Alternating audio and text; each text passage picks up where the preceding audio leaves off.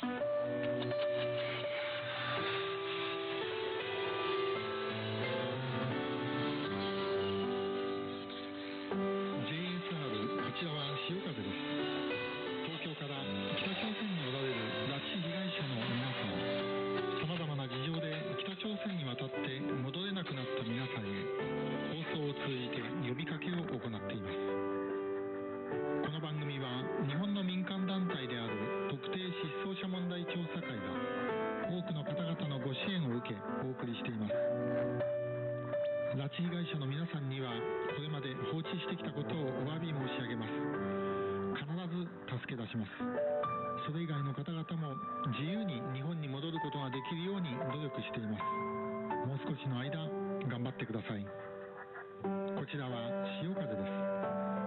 から北朝鮮におられる拉致被害者の皆さん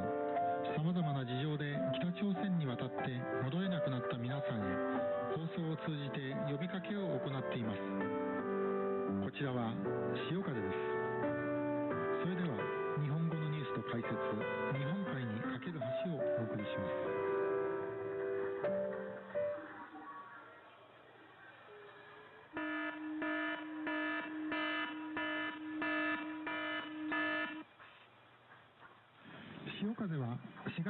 1日から2つの周波数で同時に放送を行っています。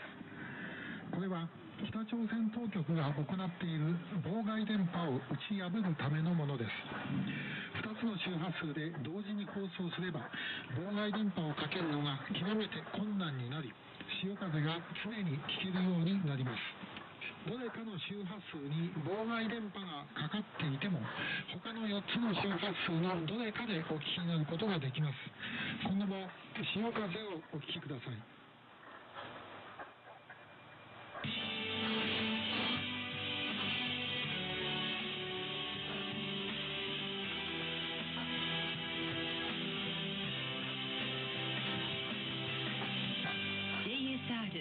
こちらは潮風です。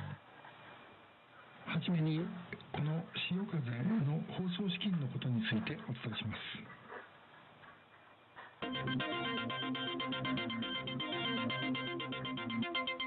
クラウドファンディングといってもちょっと北朝鮮ではわからないと思いますけれどもこれはインターネットを通じて多くの方から何かの活動についての資金を集める、まあ、行動です、えー、今回5で私たち潮風のこの運営資金についてクラウドファンディングを行い最初の予定額は650万円だったんですがこれを大きく上回って1000万を超えて終わることができました。これは何よりもこの放送を北朝鮮で聞いておられる拉致被害者の皆さんが一刻も早く日本に帰ることができるようにしたいという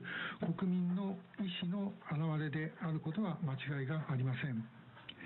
私たちはこの国民多くの方々から寄せられたお気持ちをもとに政府にも訴えそしてさらにこの放送も充実させてまいります引き続き潮風をお聞きください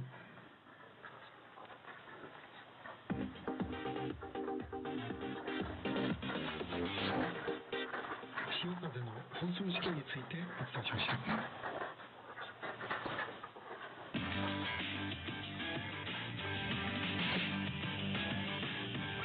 こちらは潮風です。拉致問題に関する国連シンポジウムについてお伝えします。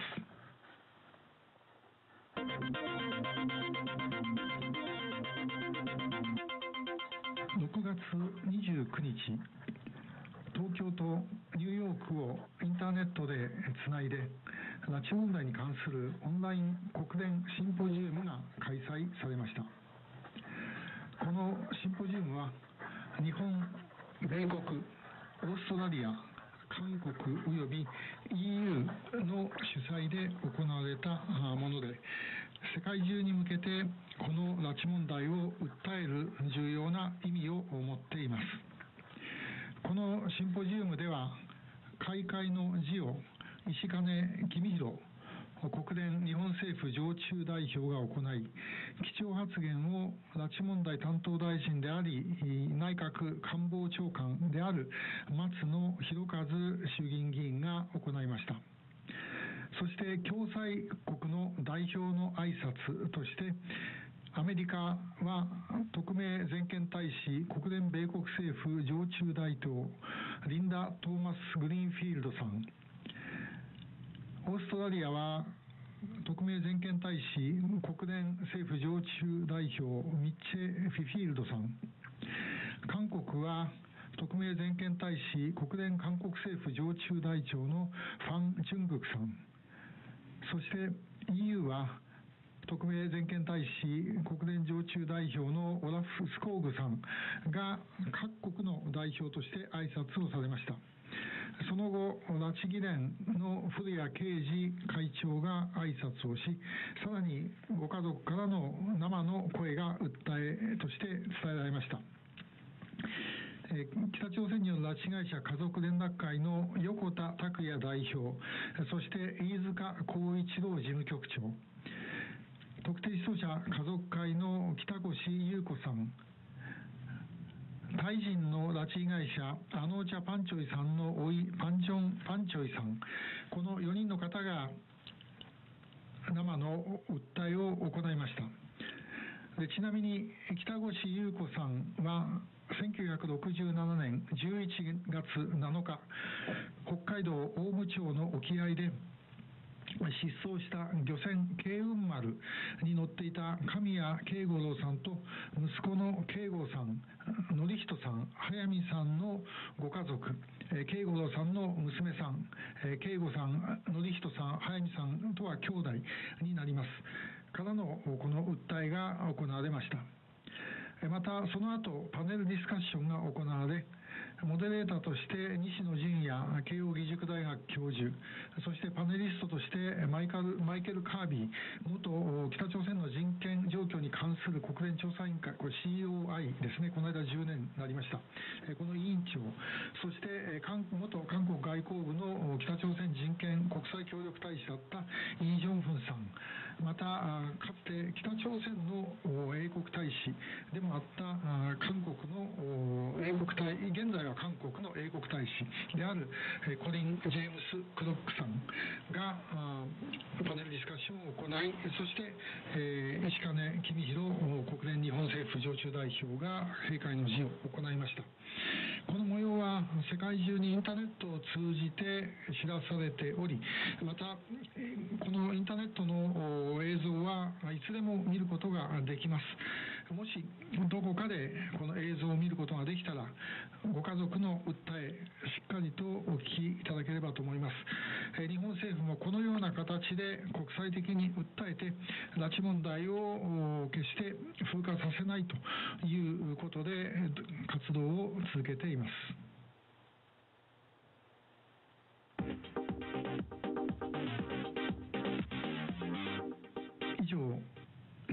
政府などが主催した国際シンポジウムについてお伝えしました。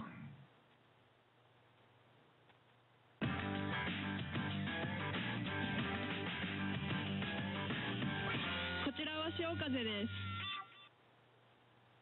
す続いて今井秀樹特定失踪者家族会会長の挨拶をお伝えします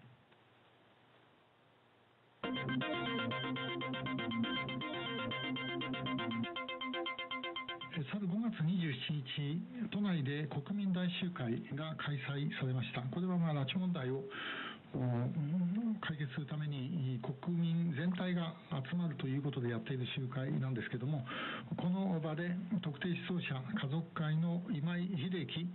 会長が行ったスピーチをお伝えします。えこんにちは。特定失踪者家族会の今井秀樹です。本日本日の国民大集会に登壇できたことに感謝申し上げます。岸田総理はすべての拉致被害者を必ず救出すると言っています。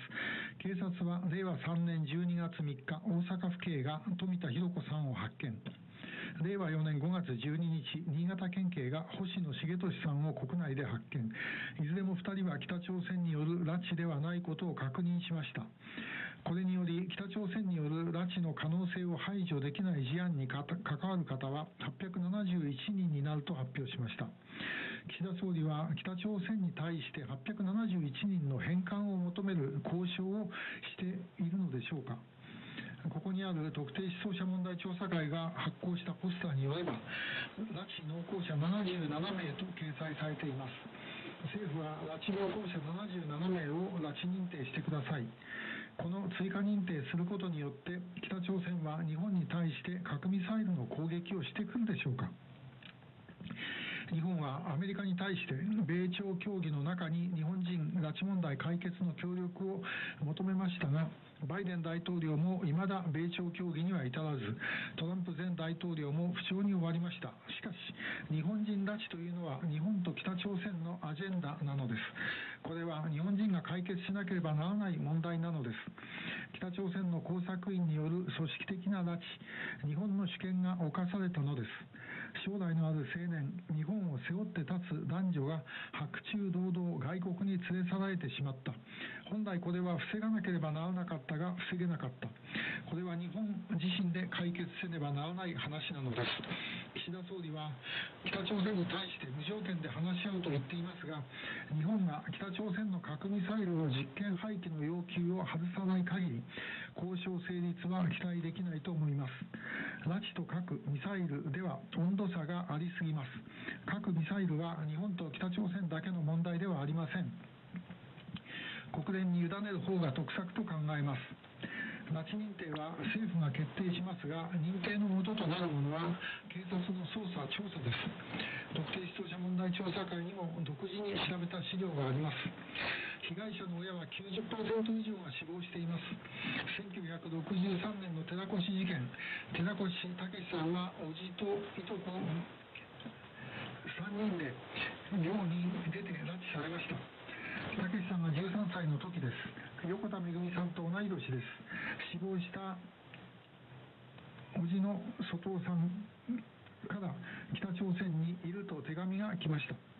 たけしさんと母との対面は66回以上今でも続いています。たけしさんは現在73歳になっています。拉致被害者も日本で待っている兄弟も多くは70歳を超えています。拉致された田中稔さん金田辰光さんも北朝鮮にいることが確認されています。まだまだたくさんの拉致被害者が救出を待っています。私の弟豊が大学受験勉強の時の肉声テープが残っています。今でも聞いています。日本に帰れない事情がある方もいるかもしれません。一日も早く国交を回復して自由に交流ができるよう期待します。以上が5月27日の国民大集会での今井秀樹特定失踪者家族会会長のご挨拶です。今井さんは弟の今井豊さんが1969年に失踪をしています。多くのご家族がこの放送を北朝鮮で聞いている皆さんと一日も早く会いたいという思いで頑張っています。この放送を聞いている拉致被害者の皆さんもうすぐその時期が来るだろうと思います。ぜひ日本に情報を送ってください。それによって私たちはさらに動くことができます。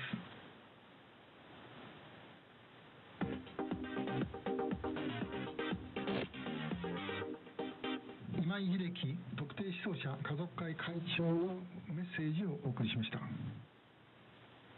えー、さて、えー、皆さん6月25日は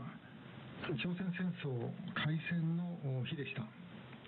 1950年ですからもう今から73年前ということになります。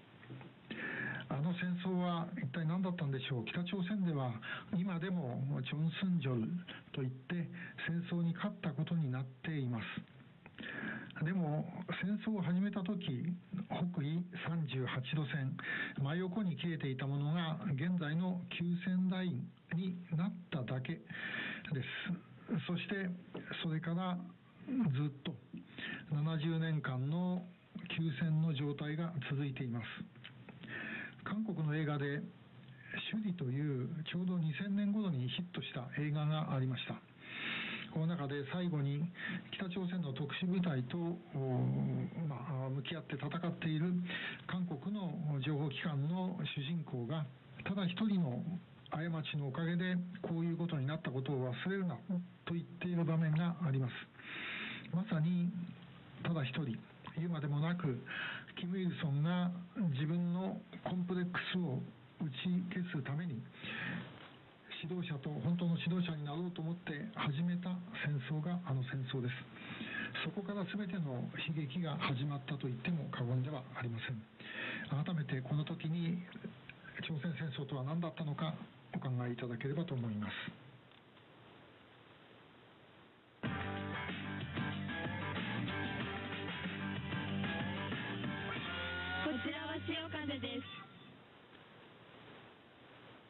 続いて救出への道のコーナーです。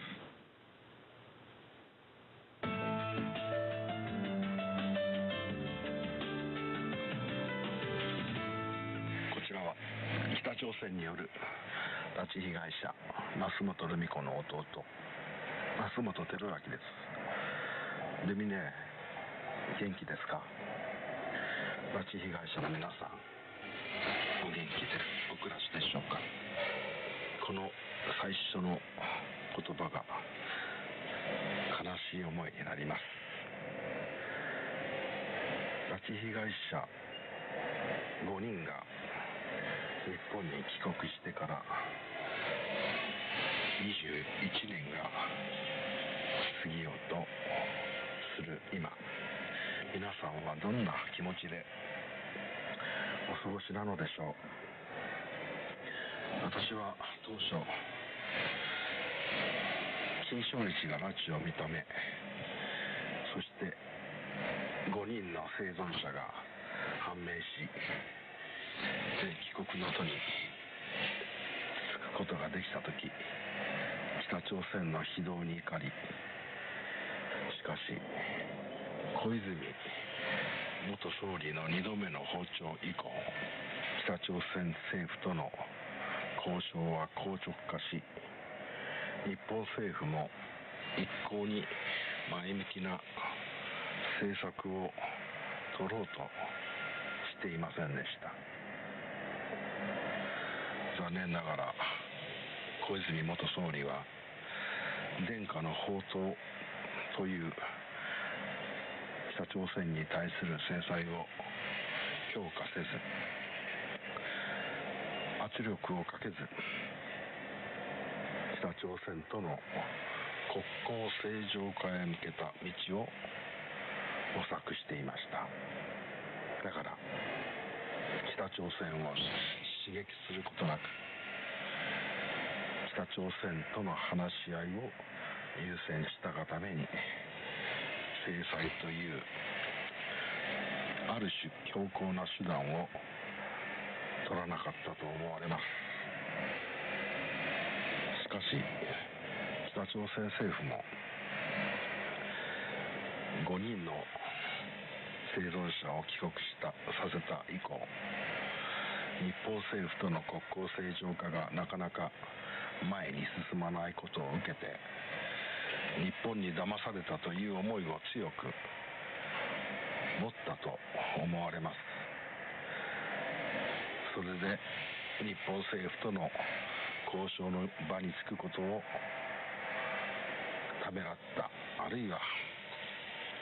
やめてしまった気配があります。本来ならば小泉元総理が被害者の命を優先し被害者のことを助けるという思いを優先していたらあのような無策に終わったとは思えません。私たちは当時から北朝鮮に対して強硬な姿勢を示し被害者を返さないのであればさらなる制裁日本独自の厳しい制裁措置を取るということを明言し被害者の帰国を促す。いえ奪還を目論むことを考えてもらわなければなりませんでした。それが何にも手を打たないまま十数年が経ち安倍総理が2回目の総理大臣になって私たちは期待をしました。北朝鮮との交渉が再開しそして厳しい日本の意思を示し皆さんを奪還できる用意をすることが必要だということを訴えそれを目指してもらえるものと思っています。しかし安倍総理は皆さんの命をの長さをあまり考慮しなかったのかゆっくりゆっくりと北朝鮮との交渉を実現させ2014年にストックホルム合意にこぎつけたのは良かったんですけれど結局何の成果もなく一方的に北朝鮮政府から打ち切られる状況に陥ってしまいました。なぜできなかったのか。今でも悔やまれます。安倍さんもおそらく悔やんだことだと思います。ご自身の命の流れる間に皆さんを取り戻す。それが目標だったのかもしれませんがそんなに長い時間皆さんを待たせることになるとは思わなかったのではないでしょうか。残念ながらまだ拉致事件は解決しません。でも私たちは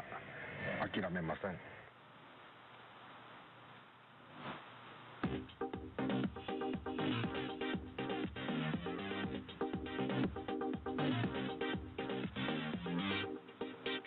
北朝鮮による拉致被害者家族連絡会増本照明がお送りいたしました。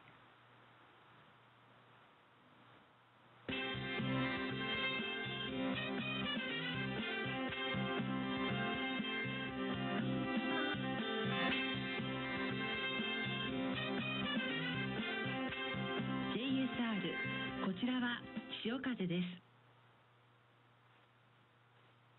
日本政府からご家族の声をお届けします。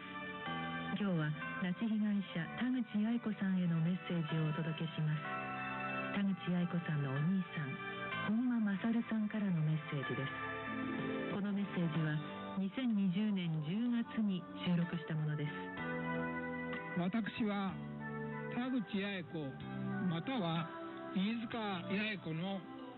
3番目の兄の本間勝です。北朝鮮に残された選択肢は核・ミサイル放棄と拉致被害者の解放だけです。日本では菅新総理になり必ず拉致問題は解決すると強調し無条件での日朝首脳会談を提案しています。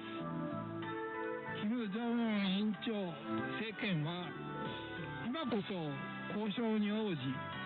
日本からの経済支援を得ることが生き残り繁栄を築くことだと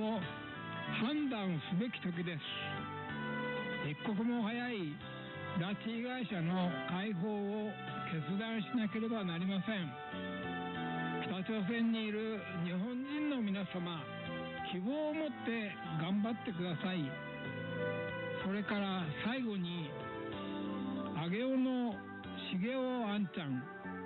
羽生の雅子川口の英子進ちゃんの上青木の綾子さんそして八重子の子供光一郎綾ちゃんみんな八重子がふるさと川口に戻ってくるのを待っています。必ず助けるからね。こちらは潮風です。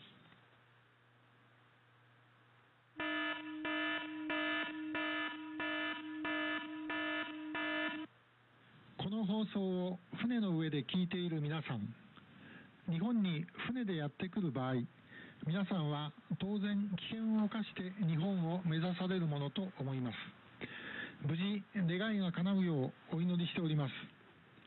皆さんが無事に日本で保護されるために日本の近くに来たら次のことを守ってください。まず武器麻薬などを持っていれば犯罪者として扱われます。皆さんの身辺が危険になります。北朝鮮を脱出するとき必要であったとしても日本に着く前に全て海に捨ててください。皆さんから攻撃されない限り日本の警察も海上保安庁も軍も皆さんを攻撃することはありません。警察官海上保安官など上陸した場所にいる人の指示に必ず従ってください。日本では犯罪を犯さない限り皆さんは保護されます。また拉致被害者など日本に関係のある人が乗っている場合はそれを伝えてください。拉致被害者についての情報をお持ちの方はそれを伝えてください。これは一度だけではなく警察にも海上保安庁にもあるいは近くに一般の人たちがいればそれらの方々にも繰り返し伝えてください。拉致被害者が乗っていればあるいは拉致被害者に関する情報があれば日本政府は皆さんに対してそれにふさわしい待遇をします。潮風では船で日本を目指す方々のためにも逐次情報を提供します。ぜひ今後も潮風をお聞きください。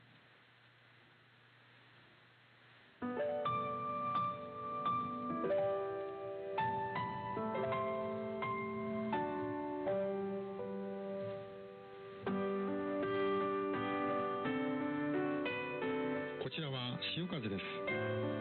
東京から北朝鮮におられる拉致被害者の皆さん。さまざまな事情で北朝鮮に渡って戻れなくなった皆さんへ放送を通じて呼びかけを行っています。この番組は日本の民間団体である特定失踪者問題調査会が多くの方々のご支援を受けお送りしています。潮風の放送内容は拉致被害者拉致の可能性のある失踪者のお名前やデータの読み上げご家族からのお手紙の代読ご家族からの直接のメッセージ朝鮮語英語中国語による失踪者拉致被害者のお名前の読み上げと日本語朝鮮語英語によるニュースや解説です。拉致被害者の皆さんにはこれまで放置してきたことをお詫び申し上げます。必ず助け出します。それ以外の方々も自由に日本に戻ることができるように努力しています。もう少しの間頑張ってください。し皆さんの情報を第三国経由で日本に送れる可能性がある場合は東京中央郵便局書箱1022号潮風宛てでお送りください。ただし言うまでもないことですが身辺の安全には十分にご注意願います。こちらは潮風です。東京から北朝鮮におられる拉致被害者の皆さん。さまざまな事情で北朝鮮に渡って戻れなくなった皆さんへ放送を通じて呼びかけを行っています。この番組は日本の民間団体である特定失踪者問題調査会が多くの方々のご支援を受けお送りしています。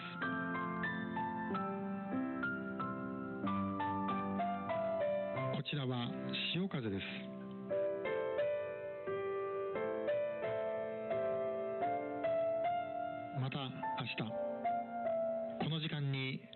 しょうお体をお大事に。JSR こちらは潮風です。